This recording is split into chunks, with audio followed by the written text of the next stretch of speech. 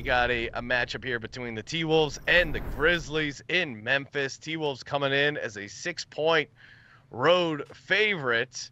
Uh, Grizzlies uh, plus 180 on the money line, total sitting at 214. Uh, looks like we might have a little debate uh, between my fellow hosts here. Junior, I'll let you tip it off here. T Wolves versus Grizzlies. What are you doing? Why do you like them? Uh, what's going on? So we go from collab to uh, face off. Uh, I think it's the first Cool. time me and my boy, me and my boy Shark going head to head on the season, which is weird. Um, but yeah, uh, I like Minnesota in this spot. Well, first of all, let me just start by saying this is more of a fade of the Grizzlies uh, than it is uh, laying the points with Minnesota because I do not like this number. It's it's a pretty big number. It's just underneath that key number of seven, which is actually it just happens to be exactly what Minnesota's margin of victory is on the season. So uh, I think they take care of business here. What I liked especially from them is I criticize their offense a lot, which by the way is still in the bottom half of the league, just barely. Uh, they are what 18th.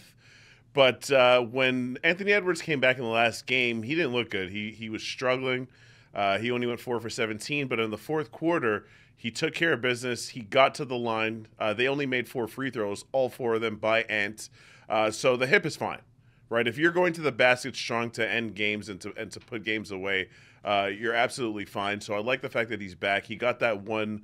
Um, what, what's that what we like to call where you come in and he took 17 shots, so he kind of took his team out of rhythm a little bit. Shot poorly, but they still won. Luckily, because they play great defense, the number one defensive team in the league albeit against a very poor uh, San Antonio team. But the Grizzlies aren't that much better anyway. So um, yeah, I just kind of like the spot. Uh, I've got a money line parlay going on, just not an official play on the show. So I've got Minnesota in a couple of different spots. So uh, Sharky, uh, I want lay out your case.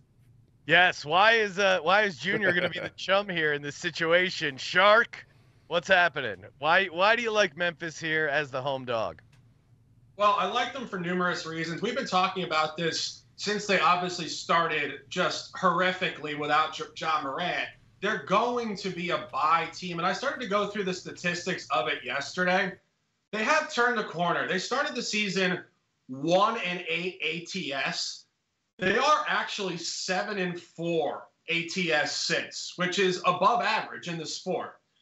Right now, they're still highly, highly below their mean at home specifically. They're two and seven ATS at home, but I do think they're turning a corner. Couple recent revenge games where they were particularly lackluster early and then got a team in this most recent window where they're better. They took a margin loss to Dallas on October 30th, and then they came back on, on December 1st on a short line at Dallas and beat Dallas outright, 108-94. They took a margin home loss against Phoenix. Then they went on the road December 2nd at Phoenix, again on a short line for Phoenix. Did cover the spread 116 to 109. You zoom into tonight's matchup, look no further than this continuing uh, trend here. They took a margin loss at home to Minnesota on November 26th, 119 to 97. Key point there, though Minnesota was favored minus seven and a half, and now the same gym, December 8th, they're opening at minus six and a half shorter. This is the exact same numerical environment we're seeing in the Boston versus Knicks game. Same gym off a blowout, line moved down one point. And you look at where Minnesota is. I honestly think Minnesota is pretty much the polar opposite statistical team than Memphis. Minnesota, if we're being honest, is far too hot. They're 16 and 4 straight up. They were 10 and 3 ATS between November 1st and November 26th. And I think they're trending towards an outright loss. You go through their last four games, they barely beat Oklahoma City at home, 106 103. They barely covered against Utah, 101 90.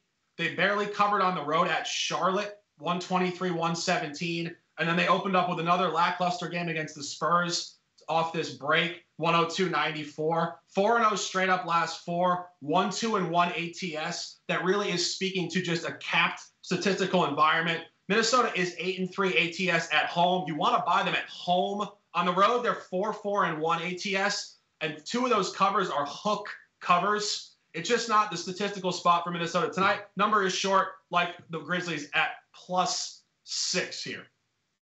Yes, so we got a guaranteed uh, winner here on the BetUS NBA Pick Show. Will it be Shark? Will it be Junior? Hopefully, it's not right at six because pushes just aren't that fun. Let's be honest. So lock up Memphis plus six for Shark and Junior on the T Wolves, laying the six on the road.